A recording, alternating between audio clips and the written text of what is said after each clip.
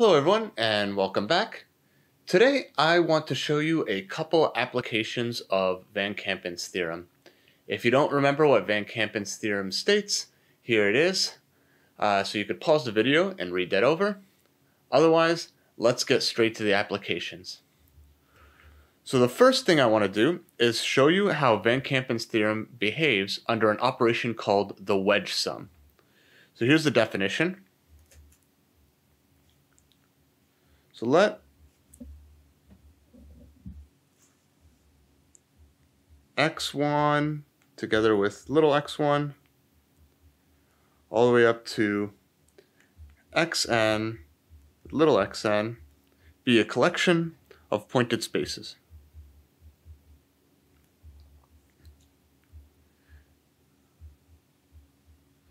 Then the wedge sum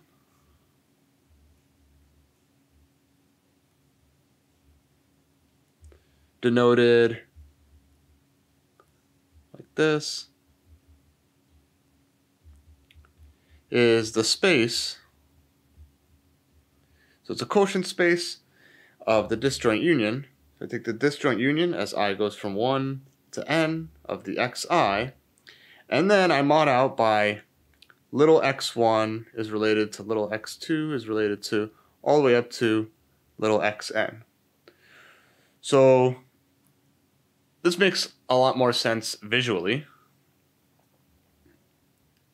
Visually, if I have like a space, uh, here's x1, and here's x2, and I want to know their wedge sum, I just glue the two points together. So here is my space, x1 wedge x2.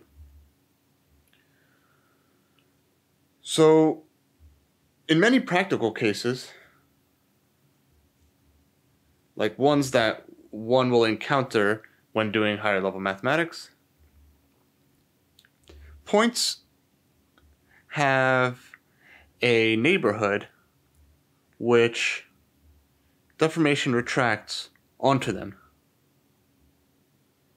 So this is, for example, the case if you've seen them before in manifolds. Uh, it is also the case in finite CW complexes.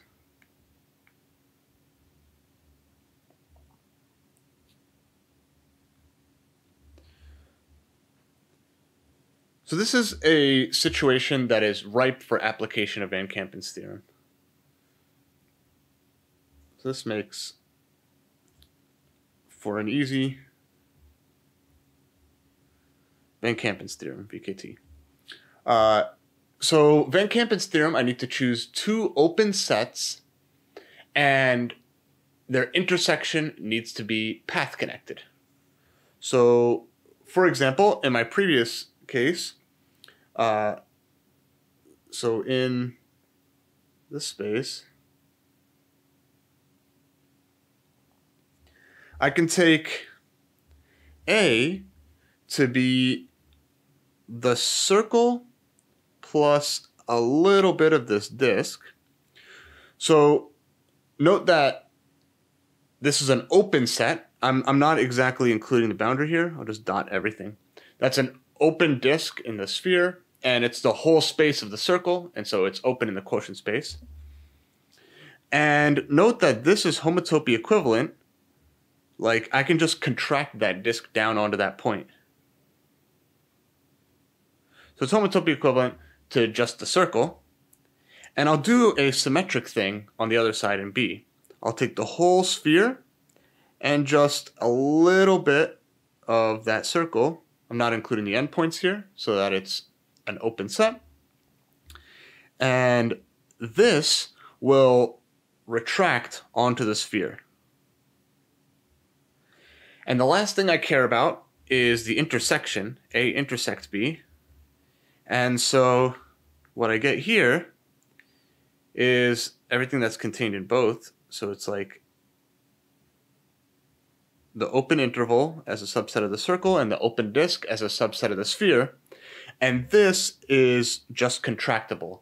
All I do is do the contraction on the left, squish that down there, and I do the contraction on the right, squish everything down here.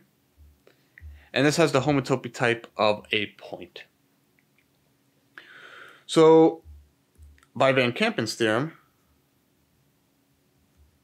pi 1 of the space here is pi 1 of A, free product pi 1 of B, modulo this normalizer of the inclusion of all of the elements in pi 1 of A intersect B. So I'll just remind you of that. Normalizer of inclusion of, like on both sides, of pi 1 of A intersect B. But the important thing here is that the intersection is contractible, and so it has no fundamental group. And so this is Z free product with the trivial group amalgamated over the trivial subgroup. And this is isomorphic to just the integers. And that's pretty intuitive here. You have the circle on the left, and that's going to contain some loops, an integer's worth of loops, and you have the sphere on the right, and that's not going to contribute anything. Let's just write this out in a formal proposition that deals with uh, the general case.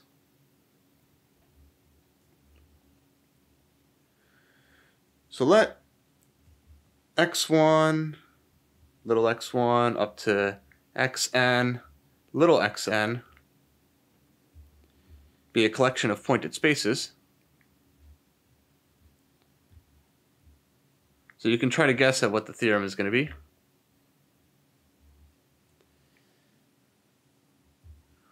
So let's suppose each xi has a neighborhood which deformation retracts onto it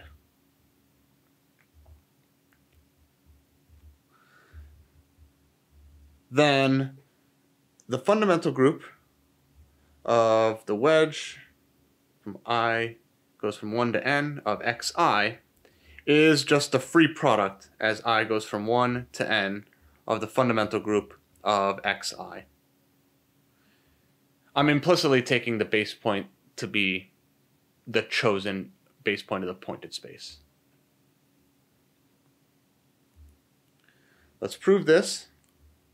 And really this is just a generalization of the picture that we previously drew. So let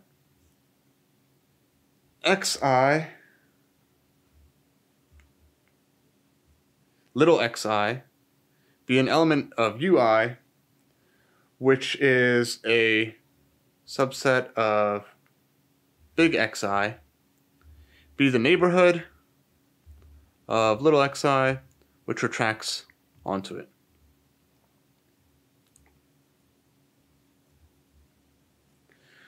Now, I'm going to choose my sets in Van Kampen's theorem as follows.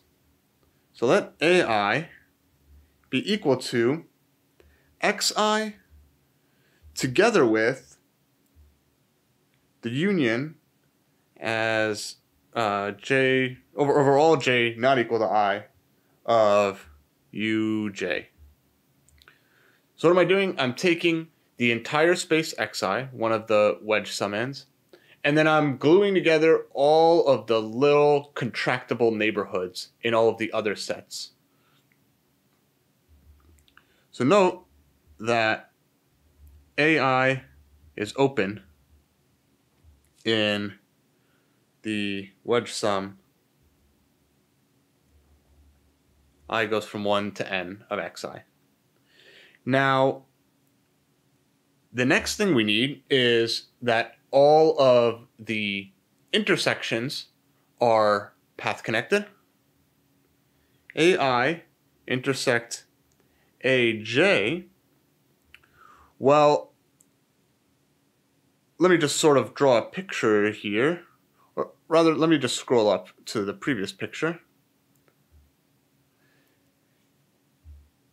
This is essentially what we're looking at here. We're looking at uh, the neighborhoods of each of the points. Since AI was the whole space on the left and a, a little bit of that other neighborhood, and BI was the whole space on the right and a little with the other neighborhood, the thing that's in both of them is the little neighborhoods wedged together. So AI intersect AJ is UI uh, wedged with UJ, which is homotopy equivalent to a point. Again, I just do the contraction on UI first, and then I do the contraction of UJ second, and that is a contraction of UI wedge UJ onto this point.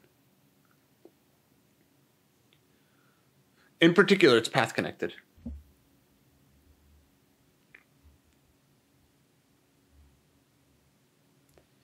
So n has no pi 1. Okay, so uh, by Van Kampen's theorem, pi 1 of xi, this is a bunch of open sets, their intersection is path connected, so I can use this. It's pi 1 of a1 free producted with pi 1 of a2 all the way up to pi 1 of an modded out by this n, but again, this is generated by fundamental group elements in the intersections. The intersections are trivial, so that's trivial. Our next goal is what is the fundamental group of AI? Now, since AI, uh, well, AI is xi together with all these contractible neighborhoods. So I can just do all of the contractions and contract AI down onto this xi here. Oops. So I meant um, I'm trying to calculate the fundamental group of the wedge of these xi's. So since each AI is homotopy equivalent to xi, we get that the fundamental group of the wedge as i goes from 1 to n of xi is the fundamental group, what used to be ai, now xi, x1, free producted with pi 1 of x2, all the way up to pi 1 of xn, like we said. Great, so under reasonable circumstances, wedge sums just result in free products. It's as easy as it could be. Here's a nice little corollary. Pi 1 of a wedge of n circles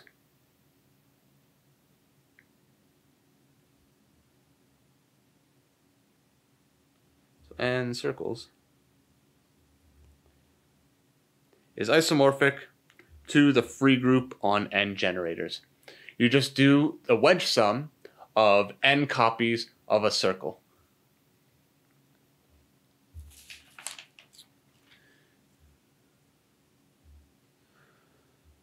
So the main spaces we've been talking about throughout this class have been CW complexes. And what we're going to do now is a very general way for calculating the fundamental group of any finite CW complex. This will work for infinite CW complexes too, but I'm going to restrict the finite to make my statements a little easier. So fundamental group of CW complexes.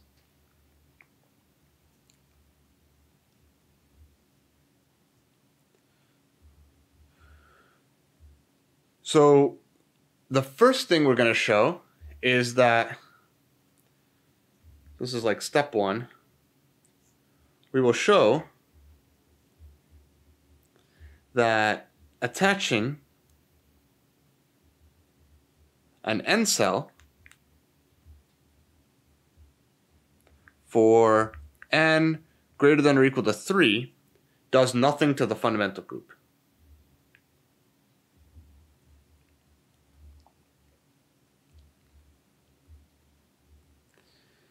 And now let me state this precisely. Here's our proposition. So let X be a just any path connected space. And let S n minus 1 be on the boundary of dn for n greater than or equal to 3. Also, let's let f from s n minus 1 to x be a map. And our last object, let x prime be equal to what we usually do. I'm going to glue dn to x along this map F.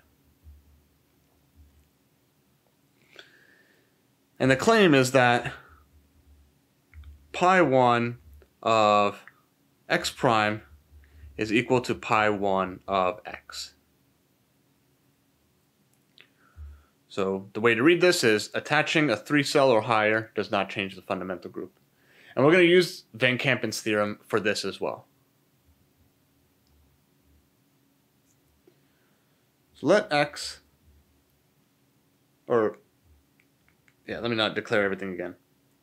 So take a and b in x as follows. A is going to be x together with the points in Dn so that the size of y is greater than one third. So that is, it's A. I'll just draw this uh, in in D2. Remember, we're working on in higher disks, but uh, I it's harder to draw the higher dimensional ones. So this is like all of the stuff out here. And let B just be the points in Dn so that y is less than two thirds. So this is like the inner part of the disk.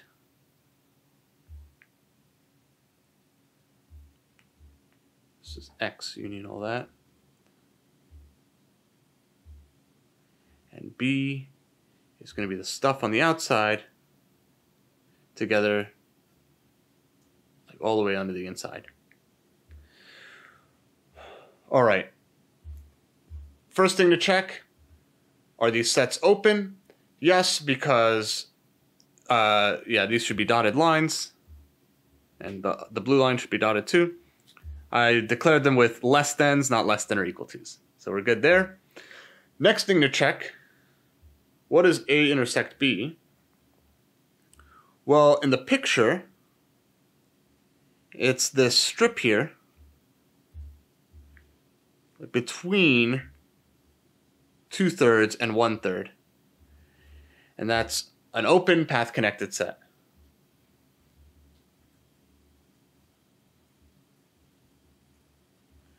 Great. Now, A is so let me draw another picture of A a little more schematically. This is X here, and what I did was glued on a copy of Sn minus 1 cross I. Here's the Sn minus 1 on the outside cross I, and this can shrink down so this is homotopy equivalent to x. B is homotopy equivalent to dn. It's just like a smaller open ball. And A intersect B is homotopy equivalent to Sn minus 1. And now we have everything we need for Van Kampen's theorem. So pi 1 of x prime is pi 1 of A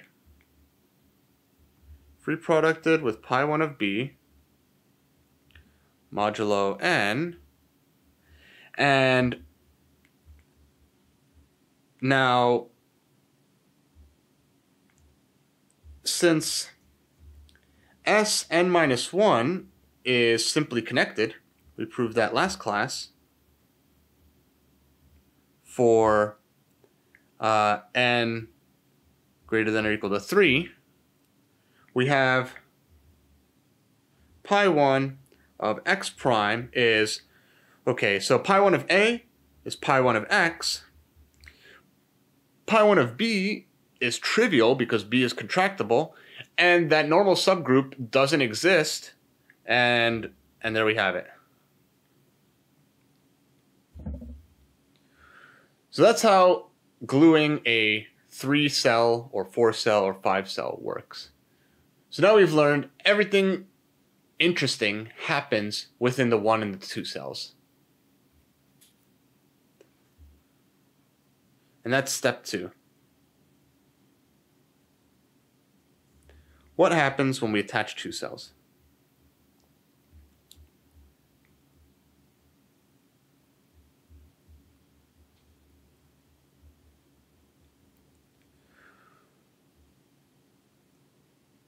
So first of all, let's start off with a fact that is an exercise which we've mostly done based on the wedge of circles, but a little more work needs to be done. It says that pi 1 of the one skeleton, so remember, one skeleton of a CW complex is equal to the free group on and generators.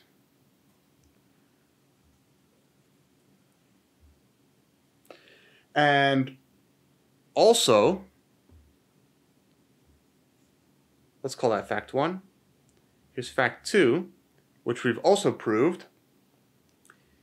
If XF is the space X union F along with Y, and xg is x union g, y, then if f and g are homotopic maps,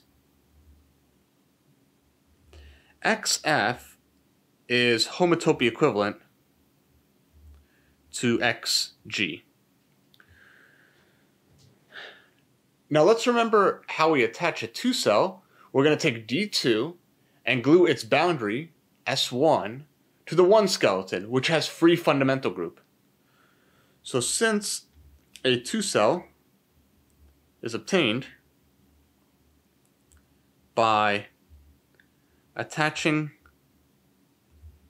uh, D2 to X1 by a map up to homotopy,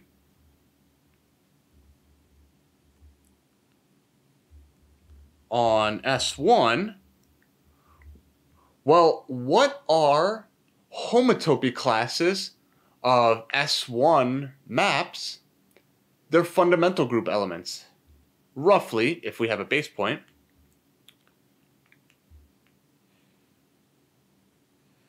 So that means that uh, the attaching map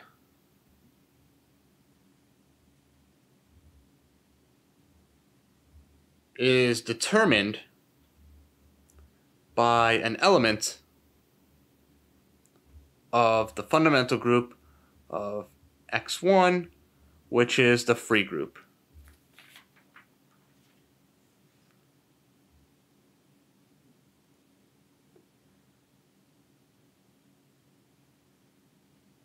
Here's a couple examples. Just two quick examples so we know we have a grip on this. So let G be equal to just a single zero cell and a single one cell, then if f from S1 to S1 takes 1 in the fundamental group of S1 to 1 in the fundamental group of S1. So this one is the input and this is the target.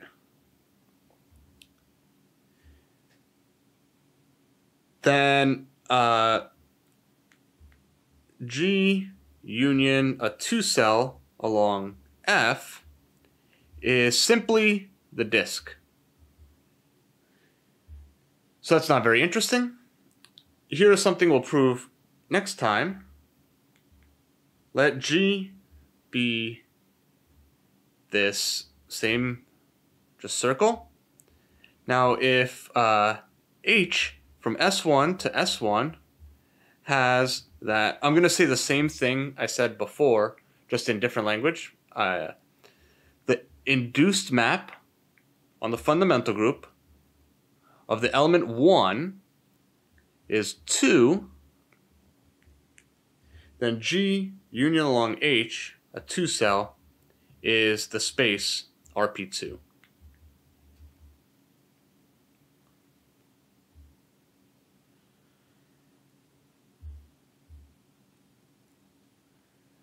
Now the big question, what happens when I attach a two cell to a graph? And here it is. Let G be a connected graph a la the one skeleton of a finite CW complex. And let E2 be a two cell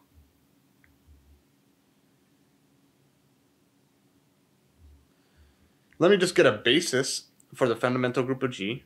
Pi 1 of G be this free group in particular. A1, A2 to AN with no relations.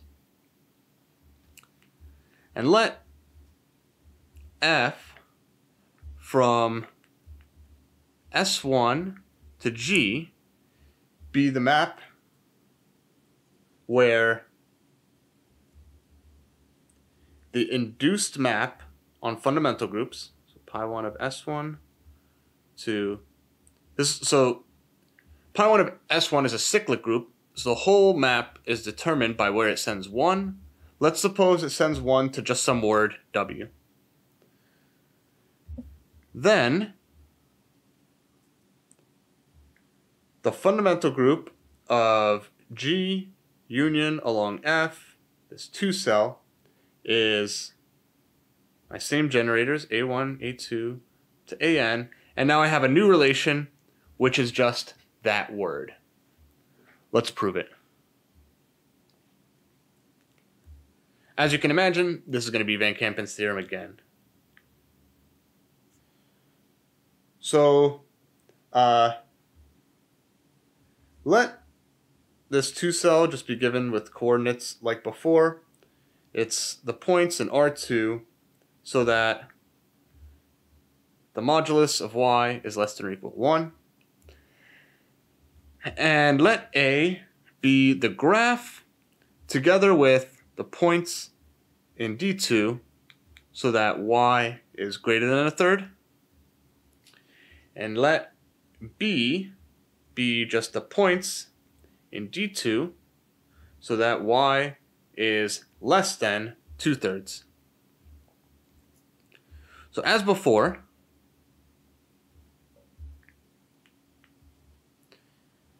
uh, A is homotopic to just G. Again, that S1 cross I is just going to shrink down. B is homotopic to D2. That's fairly straightforward to see. And A intersect B is homotopic now to S1 cross I, which, so, so it's actually homeomorphic to S1 cross I, which is homotopic to S1. So in particular, the intersection is path connected. So I can run Van Kampen's theorem on it. And when I run Van Kampen's theorem, I need to know how the fundamental group of the intersection includes into each piece. So let me just draw a little sketch here. I have my graph G, and then there's going to be a disk, and this disk is going to map down by a word W on the boundary. What's A? A is like everything up to here. And B is sort of everything down to here. I'm just going to draw it solid even though it's an open set. And now there's this S1 cross I in there, and here is the generator that I care about. So I want to know, let's call this C.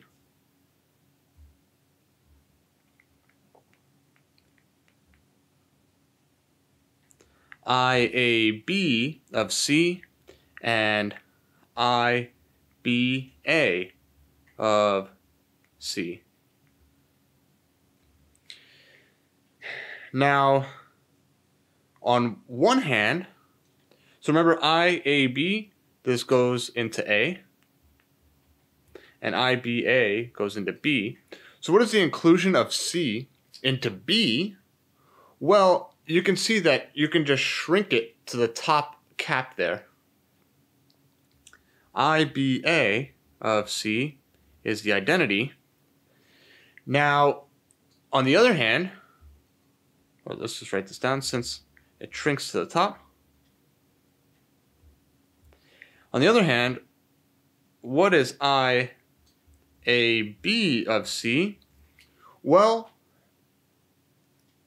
the fundamental group of A is is the fundamental group of this graph, and the circle just drops down onto the boundary, and that boundary is glued to the graph along some word uh, uh, W. And so IAB of C is W. So, pi 1 of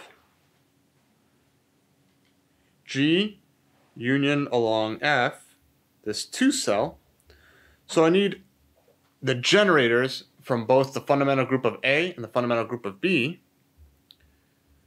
there's no generators coming from B, so it's just A1 to uh, AN. And now the only relation I have is that this word W is trivial. On one side, it's the graph word, and on the other side, it's the disk. And that's all there is to it. So by induction, let's just have a corollary. Uh, let X be a connected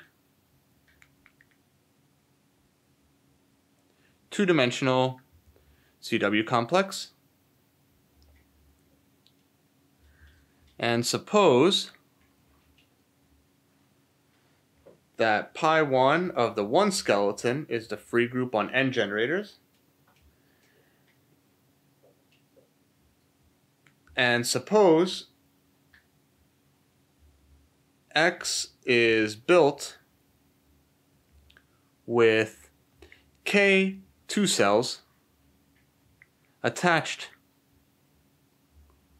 along W1 to WK, then the fundamental group of the CW complex is given by generators G1 to Gn and relations W1 to WK. So here's a definition. A group is finitely presented if, it's a pretty obvious definition, but it has a presentation with a finite number of generators and relations. So here's a nice little corollary of our theorem. Every finitely presented group